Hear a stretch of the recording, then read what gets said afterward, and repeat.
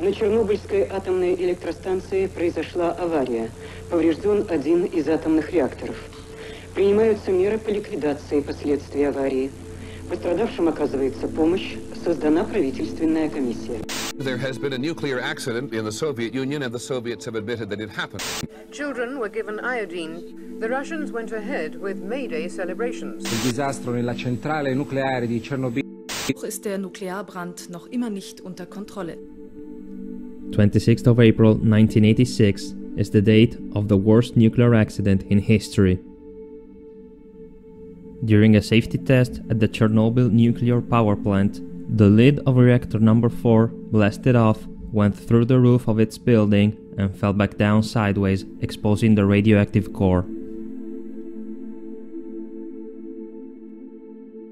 Thousands of men were immediately called to the scene and participated in the first phase of the cleanup efforts, which concluded in October of that same year when the original sarcophagus was completed.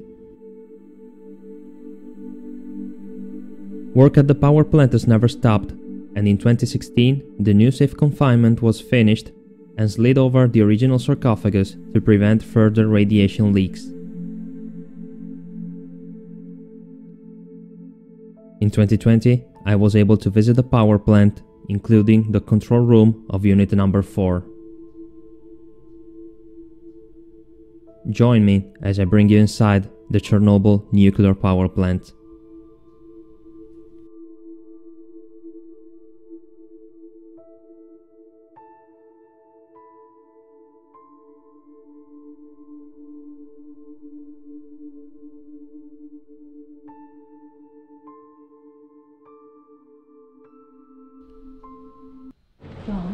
That is the area for you. After being given protective clothing and a dosimeter, our tour starts at the central control room. Reactor number three, I have mentioned, yeah, which was operated longer. You know that it was shut down only in December 2000. And it was the last one in Ukraine. Since December 2000, Ukraine hasn't operated reactors of such type. Yeah, you know, after the explosion. While Yulia goes into further details about the history of nuclear energy in the Ukraine, these engineers decide to test an alarm. Just listen to the sound. Millions and millions of dollars were spent. But in spite of all the efforts, Seeing these engineers work with latest generation computers alongside equipment built in the 70s was pretty surreal.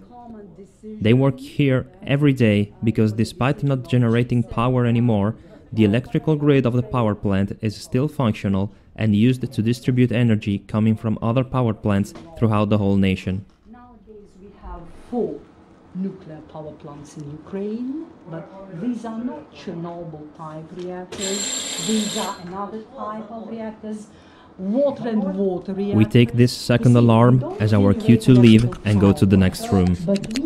Uh, well, now we have a governmental financing and uh, a lot of uh, facilities within the infrastructure for decommissioning.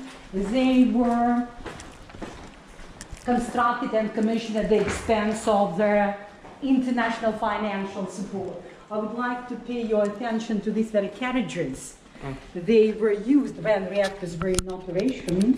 They were used for the transportation of spent fuel from reactors to the spent fuel storage facility number one. With the new safe confinement looming in the background, we start our trip towards the abandoned parts of the power plant.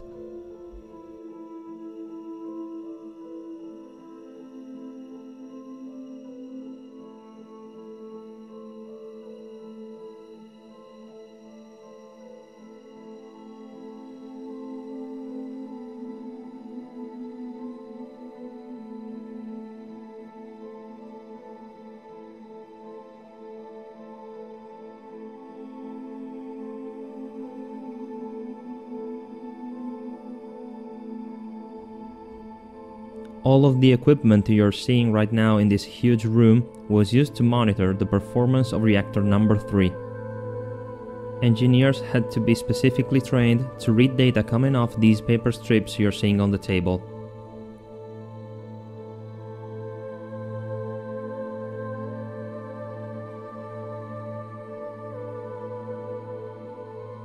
The total combined memory capacity of all the machines you're seeing in this room was of 8 kilobytes.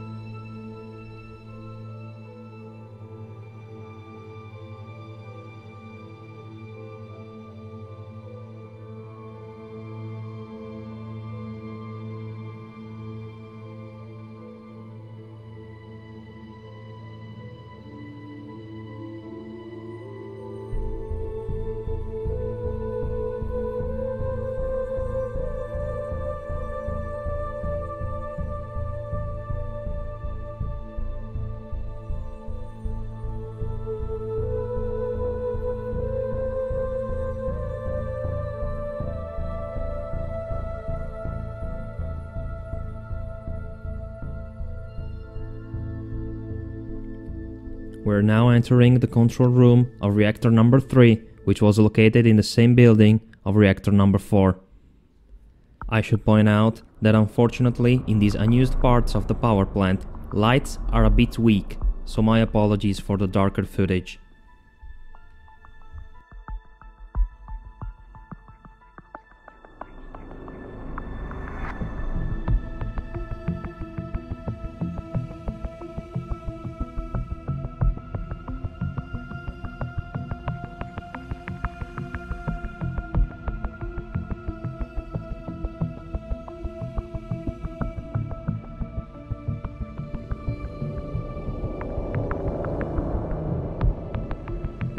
Control room number 4 used to look exactly like this one before the accident happened, including the infamous AZ5 button.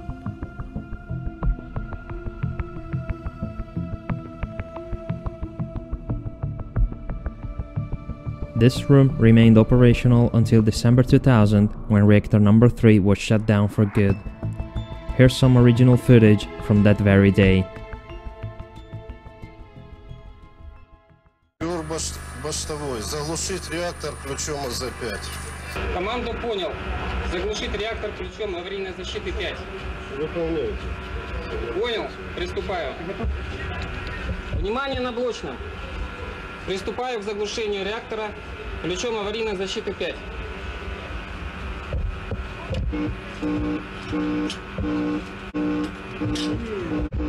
Есть решимо решимость опять? Все стержни идут с доном.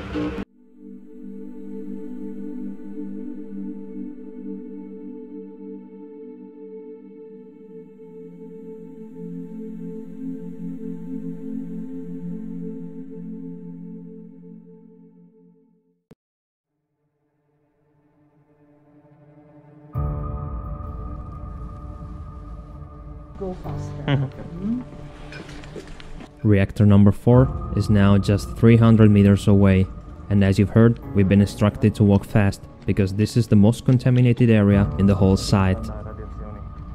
For decades, this part of the power plant was off limits, and in older videos of Chernobyl tours, people will turn right next door and completely skip unit number 4. Luckily, in 2020, we were granted full access.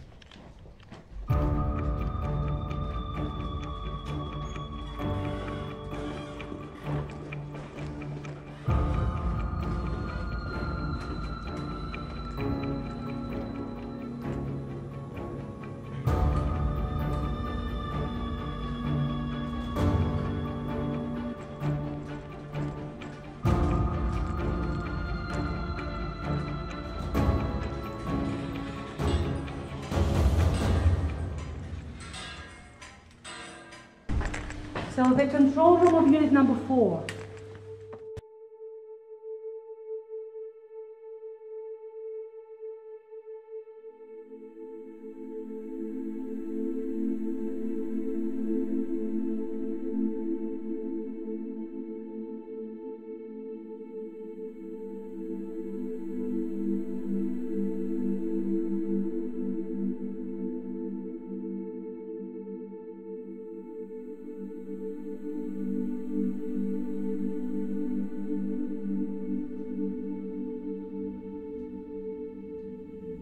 This is where everything went wrong on that night in 1986.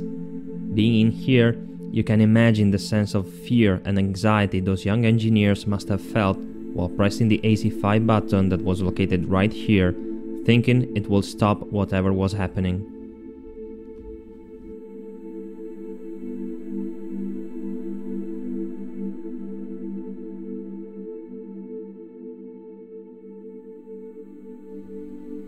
As we are just a few steps away from reactor number 4, it's already time to move on.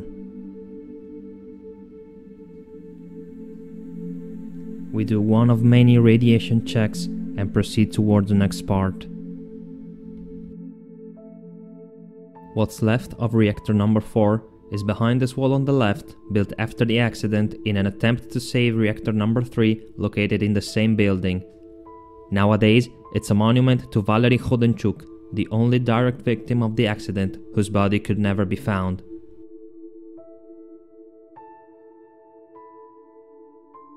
Yeah, Valery Perevozhenko. He was one of those who realized that after the explosion, there was no reactor anymore. It was time to rescue people, first of all. He arranged the team and they went to look for uh, Khodemchuk. Khodemchuk was operating these same water circulation pumps in reactor number 4. Tons of debris collapsed on top of him and his body could never be recovered. Nowadays, his family mourns every year at the monument you just saw.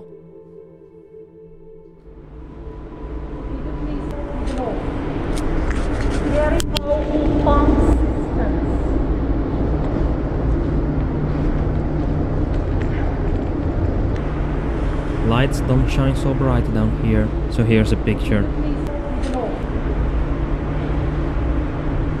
At this point, we still don't know we're about to visit one of the most mind-blowing places anyone can ever go to.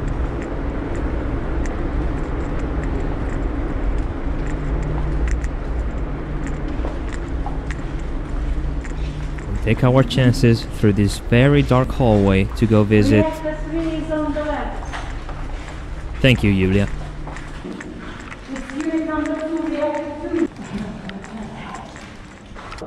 He's located here.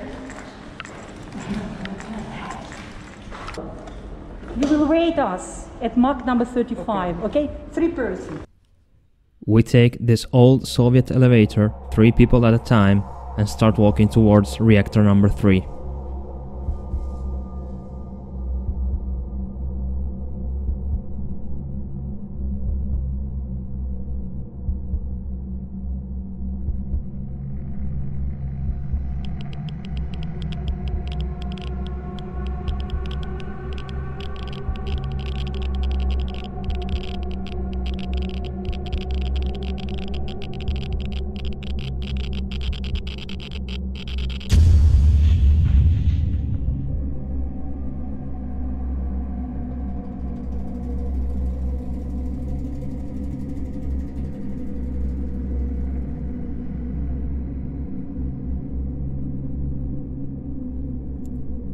I am now walking on the lid of reactor number 3, and reactor number 4 is just a few meters away behind the wall. This is the very same lid that in reactor 4 blasted off, went through the roof, and fell back down sideways, exposing the radioactive core. This whole lid weighs approximately 2000 tons.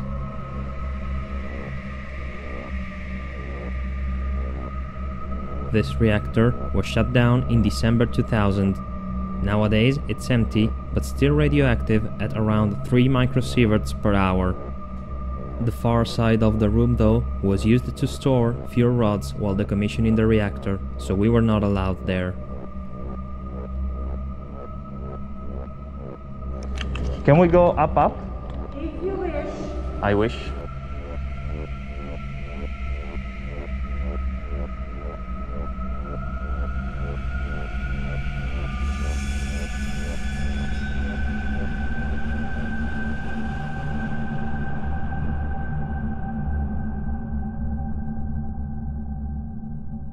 As I watch reactor number 3 from above, I take a moment to fully appreciate the incredible experience I just had in this historical location, because our visit to the power plant is about to end. Before going to Pripyat, we enjoy a nice view of the new safe confinement from the information center and pay a visit to the monument dedicated to those who worked on the original sarcophagus. If you like this video and would like to buy me a coffee so I can keep going, I'll leave you a link in the description below, one tap, no registration required. Or you can just press the like button, subscribe and spread the word. Stick around for our exploration of the ghost town of Pripyat.